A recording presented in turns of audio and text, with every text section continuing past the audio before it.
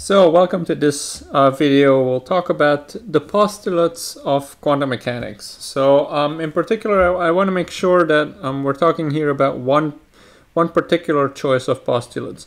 Um, there's other postulates that we can start from, or there's other bases on which we can base our discussion of quantum mechanics, and, and one of which you'll talk about in the future, um, either in uh, this course or in a course on, on quantum field theory for quantum field theory, for example. And that is um, the, uh, the, the, the, quantum mechanics based on path integrals rather than on the postulates that I'll, I'll outline here. So um, let's start with the first postulate. The first postulate is about the space of states. Um, so if we, you know, in the, in the past um, few videos, we've talked about the Hilbert space and vector spaces. So there's of course a point to this. And the point is that any physical state of a quantum system um, can be described by an element in this complex Hilbert space H um, that we call the space of states. Um, it's completely defined by that state vector. There's no hidden variables and um, all of the properties of the quantum system are determined by that quantum state. That also means that if there is um, linearity in the vector spaces, which there is in, in our definition of Hilbert spaces, that all that there is um, a kind of superpos superposition principle that relates two states phi and chi to a, a new state psi. So this new state psi will have to describe a physical state just like phi and chi describe a physical state. Okay, and um, I've already included here the normalization by dividing the sum of these um, this linear combination with lambda and mu through um, by dividing that um, with uh, the, the norm of um, the sum of those states. The second postulate, so that was all the first postulate, basically defining what the space of states is and uh, defining a connection between the physical world and the mathematical description of, uh, of uh, the quantum system.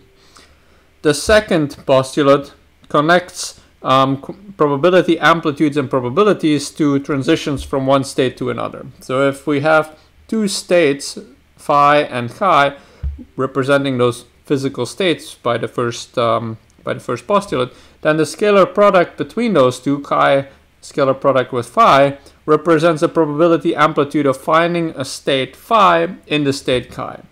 So um, if we start off with the state chi, um, and or if we start, if we have a state chi, what is the probability of finding that state at that moment in the state phi?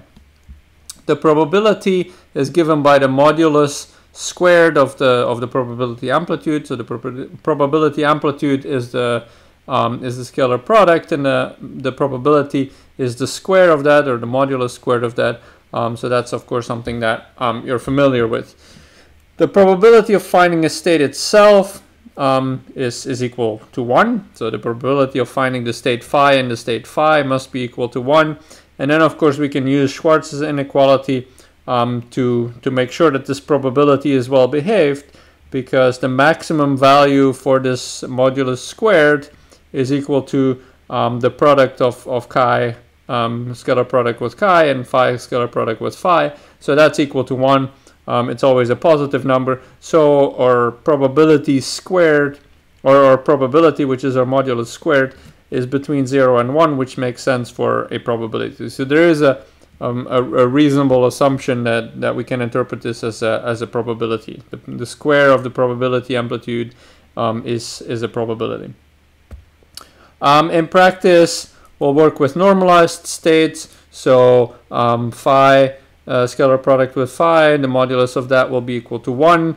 Um, if that's not the case, then we can of course modify our expression for the probability in terms of probability amplitudes by um, dividing by the, the, the modulo, the, the norm of phi um, and chi. So we can, we can modify that, but instead we'll work with normalized states.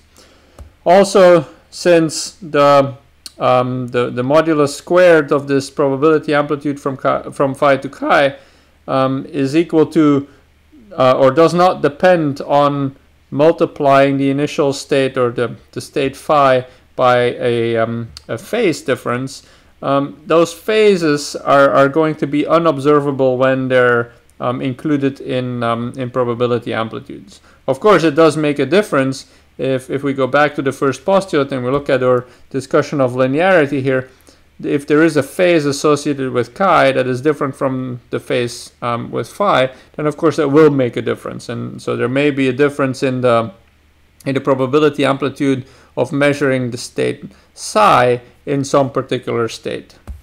But um, in terms of uh, probability amplitudes, the phases of probability amplitudes do not result in those differences in probabilities.